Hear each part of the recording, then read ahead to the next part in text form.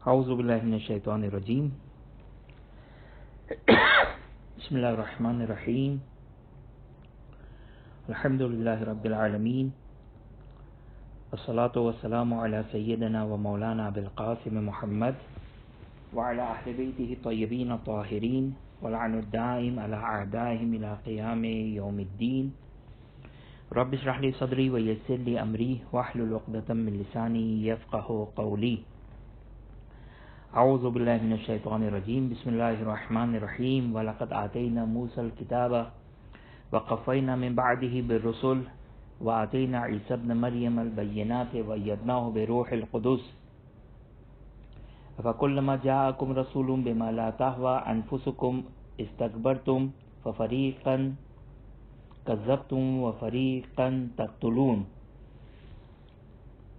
सदक़ल्लाहुल अलियुल अज़ीम हमारी गुफ्तु सूर्य बकरा की आयत नंबर 86 में मुकम्मल हुई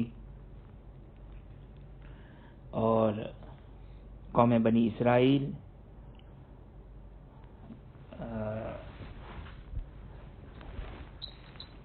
से मुतालिक जो उनसे अहद व पैमान लिए गए और जो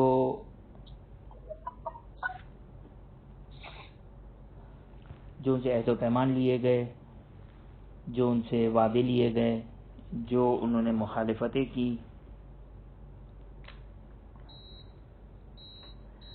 आ, उनका बयान और अभी भी मुखातबीन वही कौम बनी इसराइल हैं जिनको मुतद बार मैंने आपकी खिदमत में अर्ज़ किया कि जो ज़माने रसूल अलैहि में मौजूद यहूदी और ईसाई थे, उनसे ये मुखातब हैं कुरान की ये आयतें। आयत नंबर 87 वलक़द आतना मूसल किताबा। पहले इससे जो एक दो मुश्किल अल्फाज है, उसको हमसे देख लेते हैं। एक लफ्ज आया है कफ़ैना। कफ़ैना कि इसके लफ्जी माने पुष्ट के हैं, बैक। जैसे सईद सलाम के बारे में भी बाज़ रिवायतों में मिलता है कि सलाम को पुष्ट से काटा गया, कफा से काटा गया। कफा यानी गले का पिछला हिस्सा, गर्दन से यानी। तो कफैना के लफ्जी माना पुष्ट के होते हैं, पीछे के होते हैं। यहाँ पर कफैना का मतलब है एक के बाद एक एक के इतबा में बाज जब एक दूसरे की इत्तबा की जाती है, इत्तबा हम नमाज़ जमात पढ़ते हैं। तो नमाज़ जमात में जो पीछे नमाजी होते हैं, वो पेश इमाम की इत्तबा करते हैं। यानी जैसे वो करता है, वैसे हम करते हैं। वो रुकू में जाता है, हम रुकू में जाते हैं। वो तकबीरतलहराम कहता है, हम तकबीरतलहराम कहते हैं। वो रुकू में जाता है, हम रुकू में जाते हैं। वो सजदे में जाते हैं। तो हम उनकी इत्तबा कर रहे होते हैं। कफ़ैना यानि अर्दफना व तबाना यानि हमने एक के बाद एक रसूलों को भेजा एक लफ्ज़ यहाँ पर आया कफ़ैना उसके बाद रोसोल का लफ्ज़ आया रोसोल रोसोल प्लोरल है रसूल की रोसोल प्लोरल है जमा है रसूल की रसूल सिंगुलर है रसूल और रोसोल प्लोरल है जमा एक और लफ्ज आया है अयद ना हो अयद हम उर्दू में भी लफ्ज इस्तेमाल करते हैं। तकरीबन रूट वर्ड एक ही है, तायीद करना किसी की। जब आप किसी की बात की तायीद करें, यानी आपने उसकी बात को कुव्वत अता की, उसको तकवीत अता की। अयदना यानी क़ुव्वत अता करना। तो अयदना का माना है कव्वैना बिलईदी यानी हाथों से किसी की को कुव्वत अता करना। अरबी में हाथ को क्या कहते हैं? ऐद यद, ईद, यद, ये दाल यद, यदुल्ला फौका ईदीहिम तो चूँकि हाथ का काम क्या होता है? हाथ का काम कुव्वत देता है इंसान को। मिसाल के तौर तो अगर किसी के काम में अगर आप हाथ बटाएँ तो आपने उसकी तायद की, आपने उसकी हेल्प की, आपने उसको कुत अता की। अयदना यहाँ पर भी अयदना कवैना के मानों में, यानी हमने कुत अता की उनको। वो इंशाल्लाह जब हम इसका पूरा माना करेंगे तो उस वक्त अभी हम सिर्फ़ इसके सिंगु इसके जो मुफरदात है, इसकी जो माना है एक एक सिर्फ़ हम उसको बयान कर रहे हैं बाद में इसकी इसकी तशरी करेंगे आपकी खिदमत में। एक लफ्ज आया है कुदूस। कुदूस तकदीस से आया है। तकदीस कुछ तथीर, पाक, खुदा के नामों में से खुदा का नाम क्या है? कुद्दूस सुबूहन कुद्दूसन तकरीबन एक ही मानों में आता है। सुबूहन कुद्दूसन एक ही मानों में आता है। कुद्दूस यहाँ पे कुदूस आया है। या कुछ बेरूहिल कुदूस। बेरोहिल कुदुस। तो कुदुस कुद्दूस खुदा के नामों में से एक नाम है, जिसका माना क्या है कि खुदा मुताल पाक है। किससे पाक है? मसन पाक है कि उसका कोई बेटा नहीं है। पाक है कि उसका फेल, उसका हुक्म जो है वो अदल के मुताबिक ना हो, उससे पाक है। है ना? तो कुद्दूस सुबहान एक ही मानों के लिए आता है। हम कहते हैं सुबहान रबी अला हमदे या सुबहान अल्लाह सुबहान अल्लाह सुबहान अल्लाह। यानी खुदा जो है वो पाक है मुनज़ा है। तमाम बुराइयों से मुनज़ा है। मुनज़ा यानी पाक।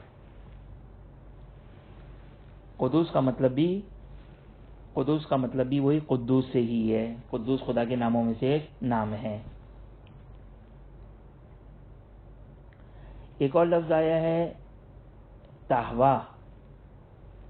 अफ़कुल्लमा जाकुम रसूल बेमा ला ताहवा। ताहवा किसे कहते हैं? ताहवा, अब हम उर्दू में भी ये लफ्ज़ इस्तेमाल करते हैं। हवाए नफसानी, ख्वाहिशात नफसानी हवा हवस, ये हम इस्तेमाल करते हैं। अगरचे ताहवा झुकने के मानों में भी आता है, बैंड होने के मानों के लिए भी आता है। तोहवी बैंड होने के मानों में भी आता है। झुकने के लिए मिसाल के तौर आप कयाम की हालत से जो सजदे में जाते हैं उसको भी रिवायतों में तोहवी या तोहवी की ताबीर इस्तेमाल हुई है यानी झुकना। लेकिन यहाँ पर जो वो आ, मुराद ख्वाहिशात हैं शायद यहाँ पर तवज्जो करें कि अरबी में जो है वो बाज़ अवत मुख्तलिफ़ अंदाज से माना किए जाते हैं, लेकिन दर हकीकत रूट एक ही हुआ करता है। क्योंकि ख्वाहिशात की तरफ़ इंसान झुकता है, जो इंसान की ख्वाहिशात होती है, इंसान हमेशा अपने ख्वाहिशात की इतबा करता है, उसकी तरफ़ झुकता है। तो देखें ये एक ही माना तकरीबन बन जाएगा। तो जो फरमाया आपने, एक ही माना तकरीबन बन जाएगा। अगर से आप जब रुक, कयाम से रुकू की तरफ़ जाएँ तो ये नहीं कहा जाएगा कि आपने अपनी ख्वाहिशात के मुताबिक अमल किया। नहीं, आप लफ्ज़ इस्तेमाल करेंगे वहाँ पर झुके आप। लेकिन यहाँ पर जो वो ख्वाहिश के मानों में है, कि जिसको इंशाल्लाह हम इसको तर्जुमा करते हैं तो बात वाज हो जाएगी। ये चंद अल्फाज का माना हमने बयान किया। उम्मीद है कि वाज हो गया होगा ये चंद अल्फाज। आइए हम जो इसका माना देखते हैं।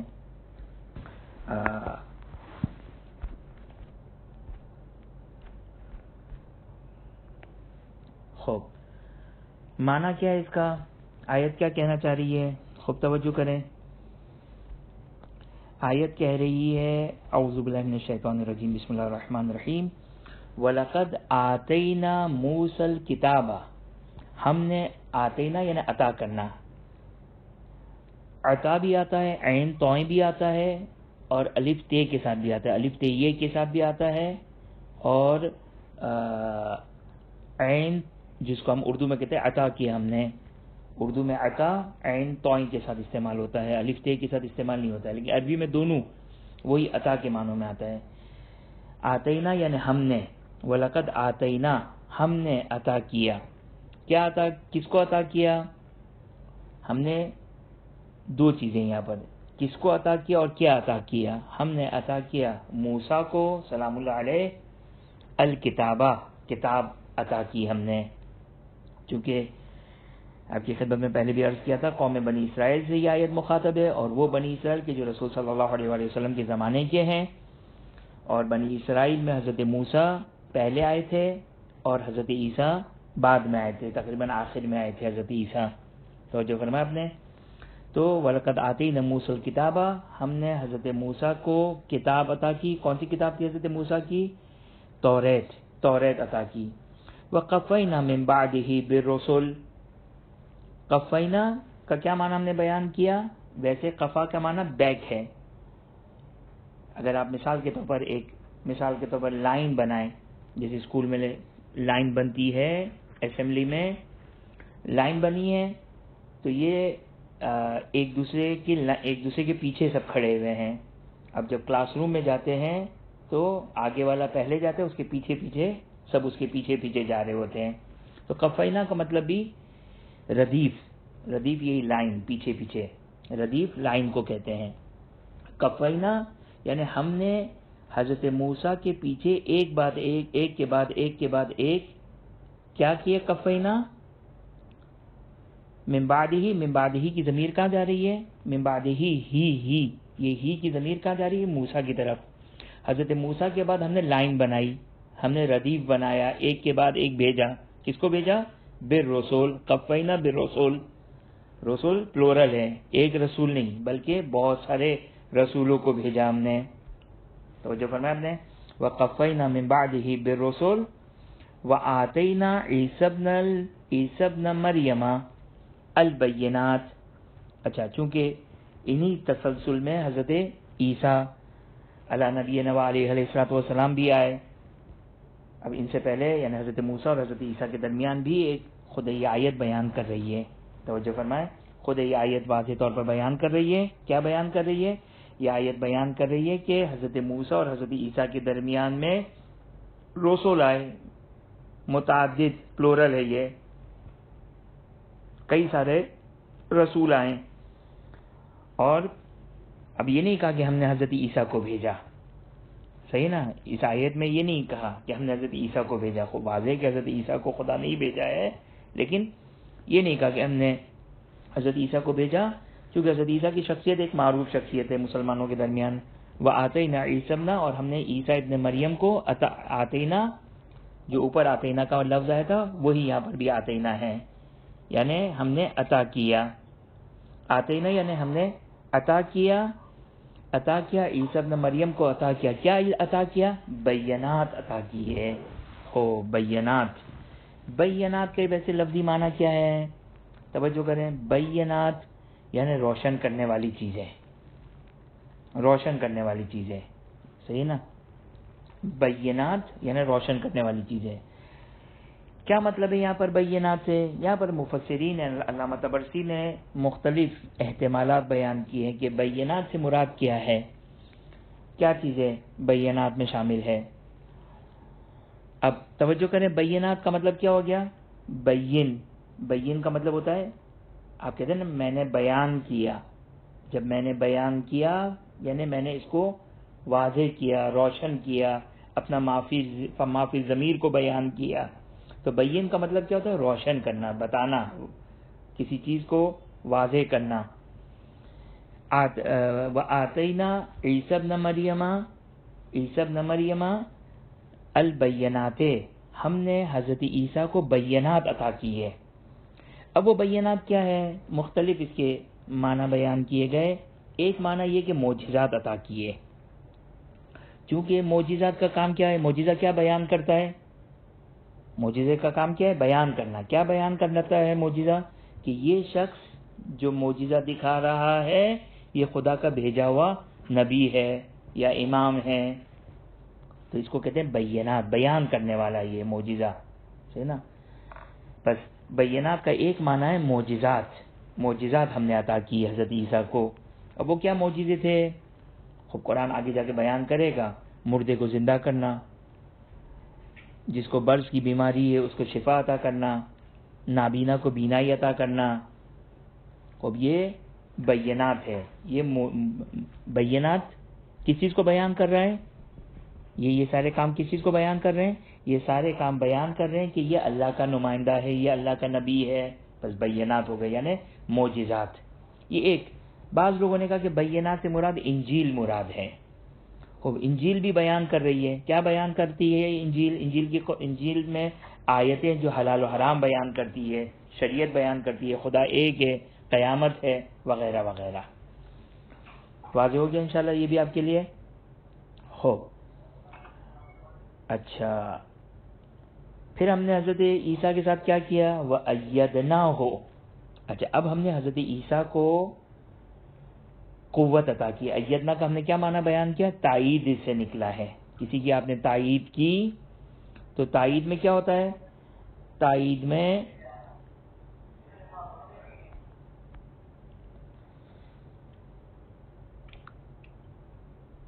और ताइद में क्या होता है? क्या माना बयान किया हमने ताइद का? ताइद का माना हमने बयान किया कुत अता करना किसी को। कवैना ताकत देना कुत देना। जब आप किसी की ताइद करते हैं तो आपने उसको कुत अता की। सही ना? मिसाल के तौर आपने एक बात कही, आप अपने दोस्तों के दरमियान दस लोग हैं, आपने एक बात कही, अब पाँच लोगों ने आपकी तायीद की तो आपको कुत आपकी बात की कुत अता की, आपकी बात को कुत अता की। तो यहाँ पर भी क्या है? अयदना हो। ये अयदना यानी हम हमसे मुराद खुदावंद मुताल। खुदावंद मुताल ये कहता है कि हमने हज़रत ईसा को कुत अता की। तायीद की किसके ज़रिए से बेरूहिल कुद्स रूह रूहुल बेरूहिल कुदस अब ये इसमें एक गुफ्तगु है कि हमने हज़रत ईसा को कुत अता की हज़रत ईसा को हमने कुत अता की किसके ज़रिए से कुत अता की रूहुल कुद्स के ज़रिए से या रूहुल कुदस के ज़रिए से ये रूहुल कुदस में इख्तलाफ है कि रूहुल कुदस क्या है? बाज़ लोगों ने, बल्कि अक्सर मशहूर और ज़ाहिर भी है, ऐसा ही है, शायद रिवायतों से भी यही बात इस्तेफादा होती है कि रूह कुदस किसका नाम है? हज़रत जब्राईल सलाम का। हज़रत जब्राईल सलाम का लकब है रूह कुदस। तो हमने हज़रत ईसा को रूह कुदस के ज़रिए से क़वत अता की ताइद अता की। अयदना ताइद की हमने, यानी हमने उनको क़वत अदा की, अब उनकी मदद की। अब जो भी मदद हो सकती है, तबलीग दीन के अतबार से काफ़ी कुफ़ार, के साथ मुकाबला करने के अतबार से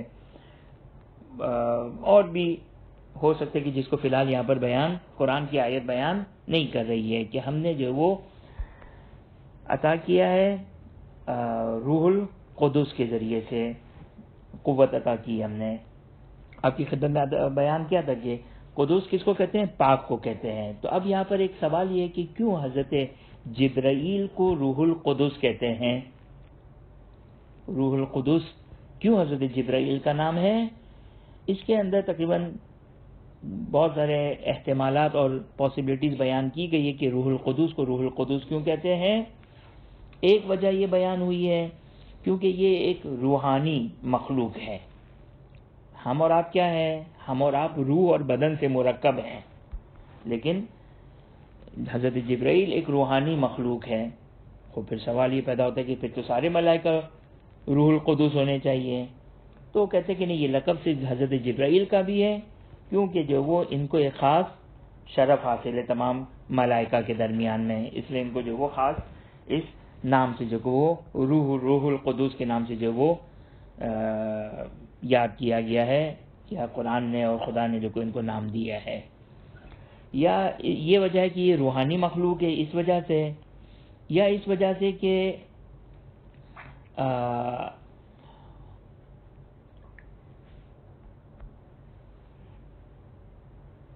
इस वजह से कि चूँकि रूहुल कुदस कुदस खुदा मुताल के नामों में से एक नाम है तो शायद इस वजह से कि कुदस की रूह क्योंकि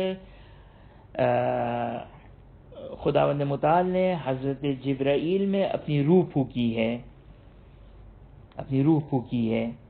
इस वजह से जो इनको रूहुल कहा जाता है। ये मुख्तलिफ़, अब ज़ाहिर है, अब मुफसरीन ये जो अहतमाल दे रहे हैं, ज़ाहिर है कोई इसकी हतमी दलील बनाना तो बहुत मुश्किल है, लेकिन बहरहाल समझने के अतबार से ये मुफसरीन ने जो है वो बयान किया है।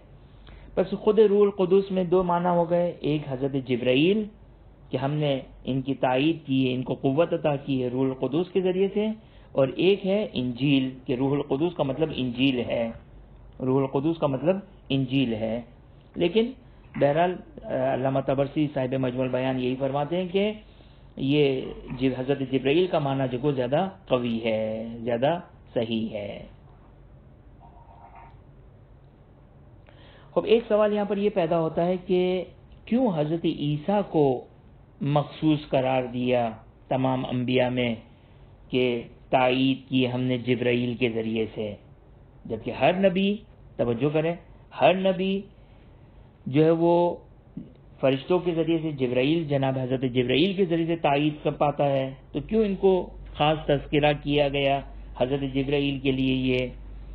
तो शायद इसकी वजह यह है कि जिस तरीके से अल्लाह तबरसी बयान करते हैं कि क्योंकि हज़रत ईसा बचपने से अपने बुढ़ापे तक जो है वो आ,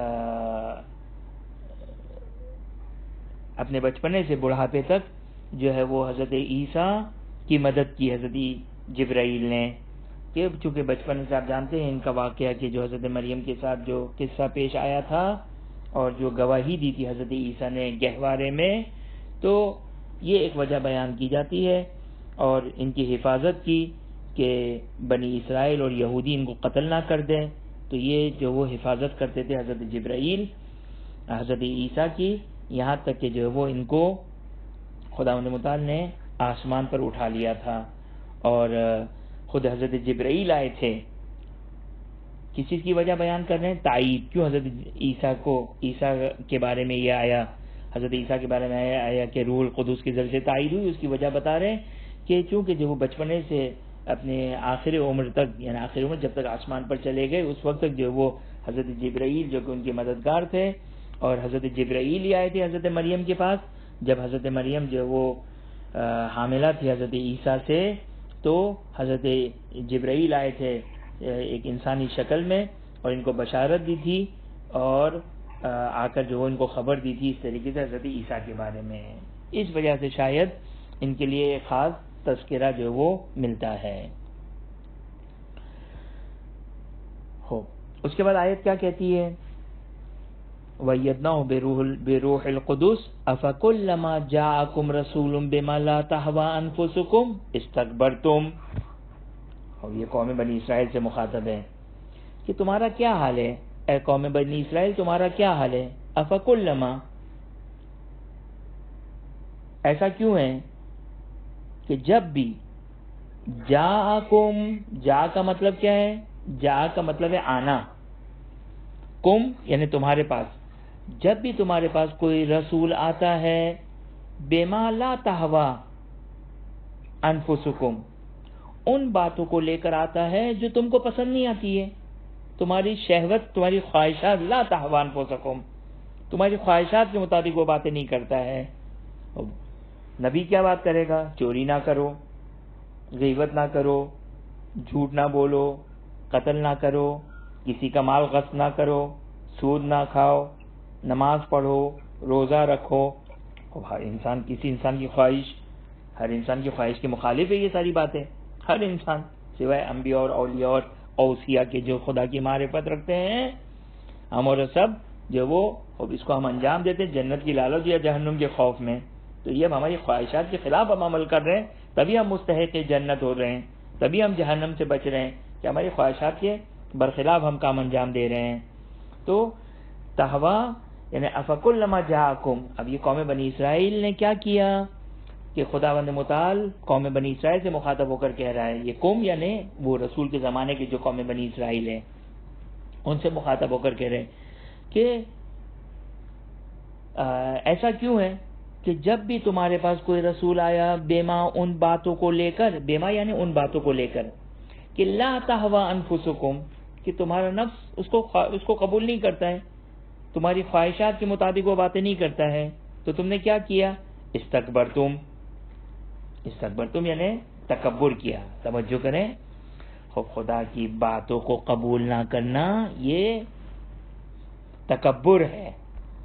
इंसान खुदा के सामने क्या होना चाहिए? खाजे तस्लीम, खाशे होना चाहिए यसर होना चाहिए। सर तस्लीम खम हो। अगर हम कभी हुक्म खुदा की मुखालफत कर रहे हैं, यानी हम तकबर कर रहे हैं। इसीलिए यस्तकबिरून इबादती कि कुरान जो कि वो मजम्मत कर रहा है जो मेरी इबादत से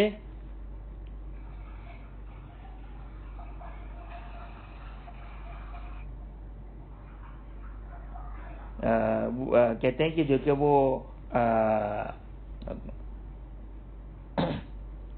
यस्तकबिरून इबादती कि मेरी इबादत से तकबर करते हैं सही ना यानी इंसान खुदा के सामने दुआ ना करे, दुआ क्या, दुआ किस चीज़ की अलामत है?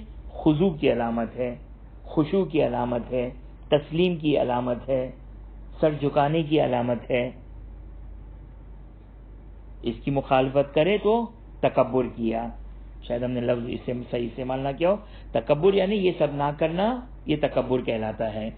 तो अब ये लोग भी क्या हुए? अफकुल्लमा जाकुम रसूल बेमाला तहवान सकूम कि जब भी रसूल तुम्हारे पास आए और तुम्हारे तो तुम्हारी ख्वाहिश के मुताबिक उसने बात नहीं की तो तुमने क्या किया? इस्तकबर तुम।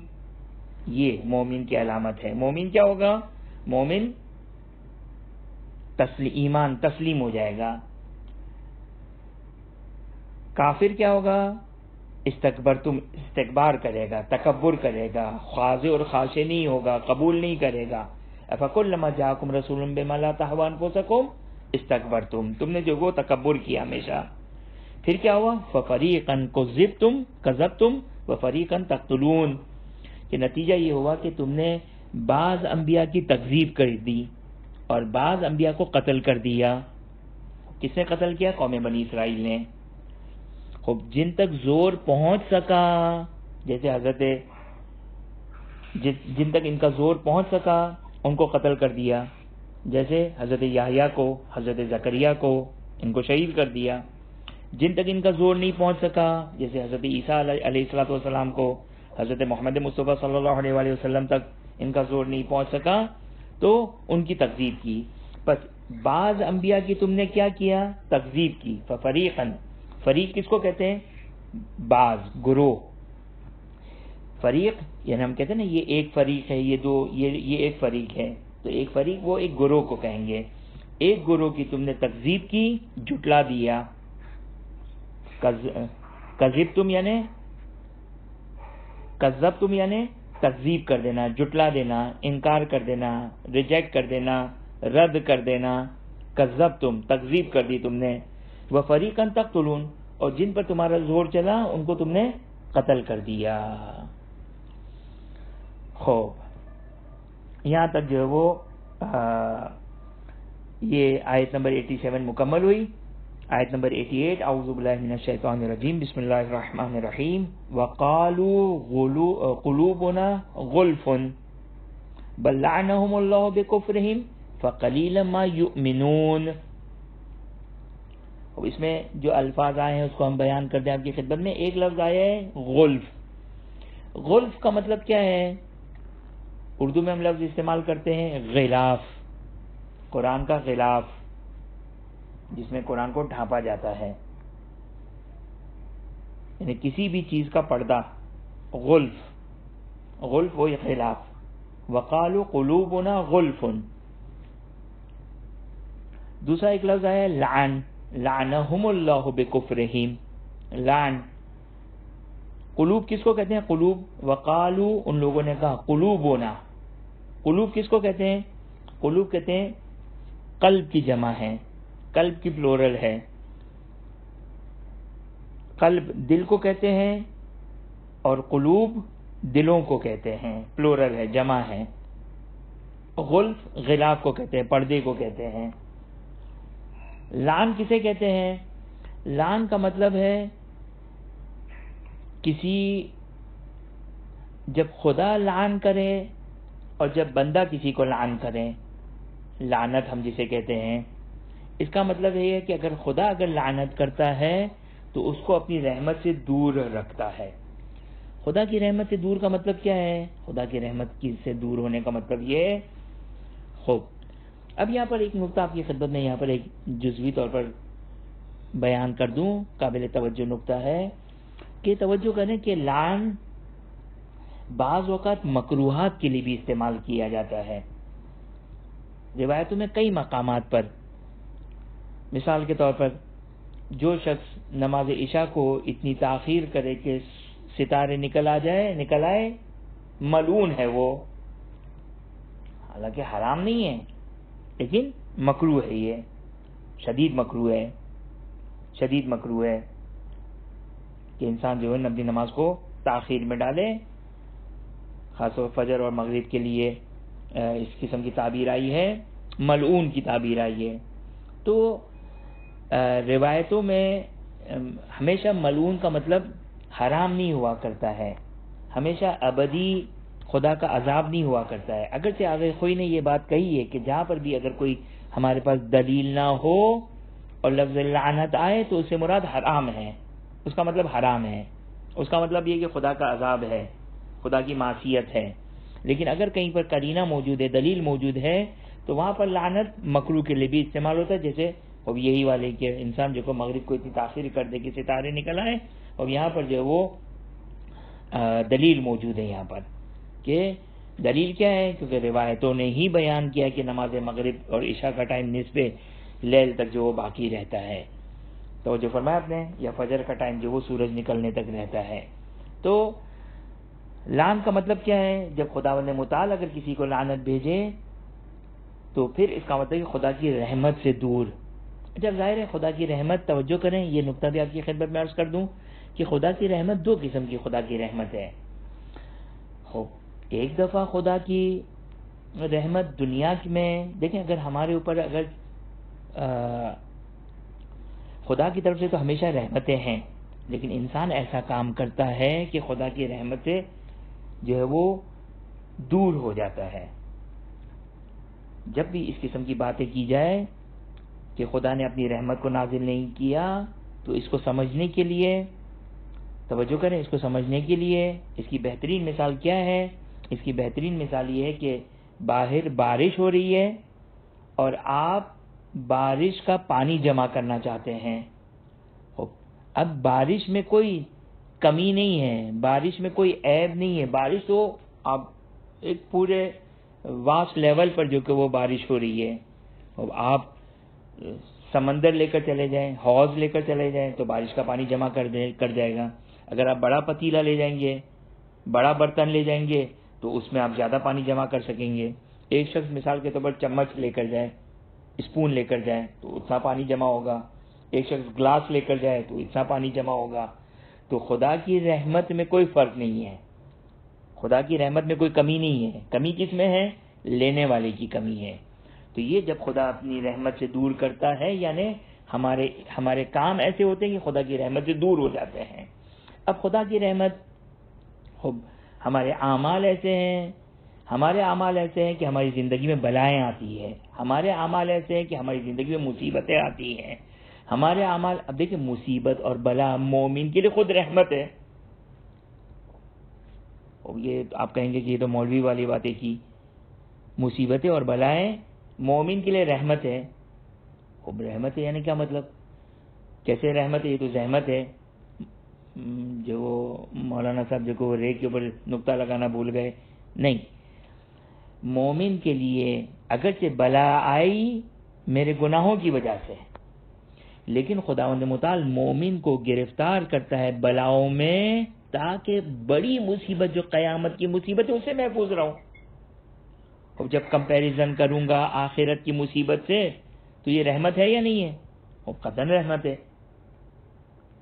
अब आप कहें कि खुदा ये भी नाजिल ना करता तो उसके लिए ज़रूरी था कि खुदा जो ये कहेगा कि तुम अपने अमाल नहीं कर देते, तुम्हें पाक तो करना है हमें। लिहाजा जो है वो अगर हमारे ऊपर, अगर खुदा की हर लिहाज से मुकम्मल तौर पर अगर रहमत नाजिल हो तो हमारी ज़िंदगी में परेशानी, बलाएँ, मुसीबतें ना हो। और हम खुद मुसीबतों और बलाओं को हासिल करते हैं अपने अमाल की वजह से। बहरहाल ये एक अलग टॉपिक है। तो लान क्या है? लान, यानी खुदा की रहमत से दूर होना। अब दूरी, एक दफ़ा दूरी ऐसी दूरी है कि अजाब इलाही का मुस्तक हो जाए, काफिर हो जाए इन लजीना यूजून रसूल दुनिया वलाखिर अजाब अलीम कि खूब, ये ऐसी ऐसी खुदा की रहमत से दूरी है कि जिस पर अजाब इलाही है। ऐसी दूरी है कि जिसमें हमेशा हमेशा जहनुम में रहेगा। और एक दफ़ा मुमकिन है एक मकरू काम करने की वजह से, एक मुस्तहब काम को छोड़ने की वजह से, या गुनाहों में मुमकिन है गुनाहों की वजह से कोई गुनाह किया है और इंसान के ऊपर अगर खुदा की रहमत हम पर नाजिल नहीं हुई और हम बलाओं में गिरफ़्तार हो गए तो बहरहाल, ये जो है वो सारी की सारी लान के दायरे में दाखिल हो जाएगी। लान का मतलब क्या है? अगर खुदा अगर लान करे तो इसका मतलब कि अपनी रहमत से दूर रखता है। अगर रसूल, मलाइका, लोग अगर लानत करें तो इसका मतलब ये कि दुआ करते हैं कि ये खुदा की रहमत से दूर करार पाए। वाज हो गया इंशाल्लाह। लान का मतलब बल्लानुल्लाह बेकुफ्रहिम। अच्छा अब यहाँ तक जो है वो तकरीबन हमने इसके 88 भी आयत के हमने इसके तकरीबन जो अल्फाज थे, मुश्किल उसका हमने मतलब बयान कर दिया है। इनशाला इसकी तशरी जो आने वाली गुफ्तु इतवार के दिन अज़ीज़ इसको कंटिन्यू करेंगे। व आखिर दावाना अलहमदिल्ला रबालमीन